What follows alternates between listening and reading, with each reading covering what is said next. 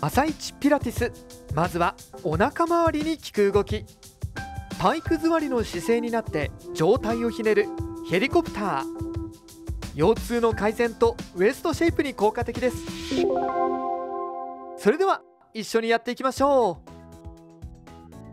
う。体育座りの姿勢から胸の前で手の中指と中指を合わせます。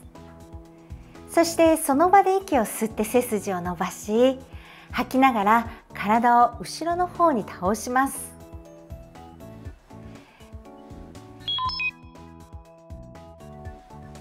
その場でもう一度息を吸って吐きながら右へ回旋します。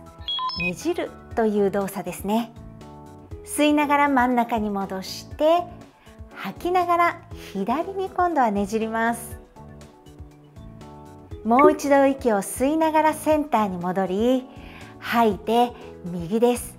腹筋を使いながらも胸を柔らかくしています。吐いて左です。さあきつくなってきました。あと1セットだけ頑張りましょう。吐きながら右へ。肘はできるだけ後ろの方へ。はい吸って戻して最後の左です。左肘を下に下げるようにして行います。真ん中に戻ったら元の位置に戻りましょう。次は仰向けの状態になって交互に膝を抱えるシングルレッグストレッチ。腰痛やぽっこりお腹の改善に効く動きです。さあ準備はよろしいですか？頭が降りたら一度両膝を抱えましょう。次に頭を上げます。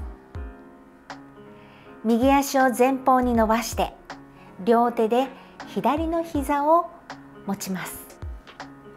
では息を吐きながらチェンジしましょう。はいチェンジ。股関節の動きをスムーズに。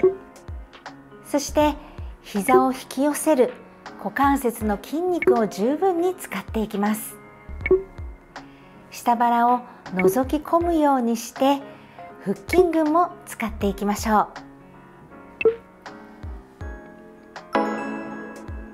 う。では両膝を抱えて頭を下ろします。足も立てましょう。はいよく頑張りました。ここからは姿勢と肩こりの改善に効果がある動き。座った状態から脇や背中を伸ばしていくサイドベントです。あと少しです。頑張りましょう。座って腕は三角形のスペースを作るように手を置きます。そして上の膝を開いて足を前に置きましょう。その場でまずは息を吸って吐きながら腰をしっかりと上げ手を遠く伸ばします。吸いながら再び腰を下ろしましょう。そして再び息を吐いてウエストラインが伸びると気持ちよく感じるところまでしっかりと伸ばしてはい下ろします。最後です。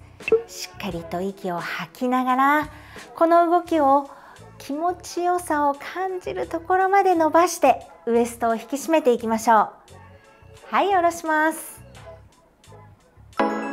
では反対に。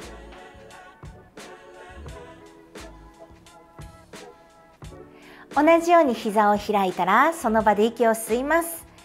吐きながら腰をしっかりと上げて手の指先は遠く頭の先の方へ。そして吸いながら下ろします。そうです。吐いて腰を上げてウエストラインの筋肉をしっかりと使って引き締めていきましょう。吸って下ろします。最後の1回です。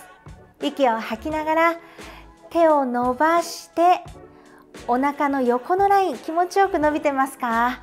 引き締めていきましょう。はい下ろします。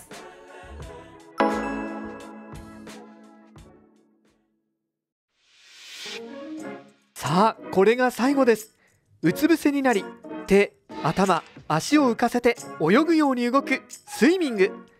姿勢の改善やヒップアップに効果的。辛いけど頑張って一緒にやってみましょう。足は腰幅に広げ両手を万歳します。手顔胸を浮かせ足も軽く上げましょう。そうです。ではさらに右手と左足を少しだけ高くして交互に20回泳ぐようにバタ足をしていきます。では行きましょう。1234膝が曲がらないように意識をしていきます。9 0 1 2 3 4 5 6 7 8 9 10はい結構です。では胸を下ろして最後は両手で床を押しお尻をかかとの上に乗せて腰をストレッチして終わりにしましょう。はいよく頑張りました。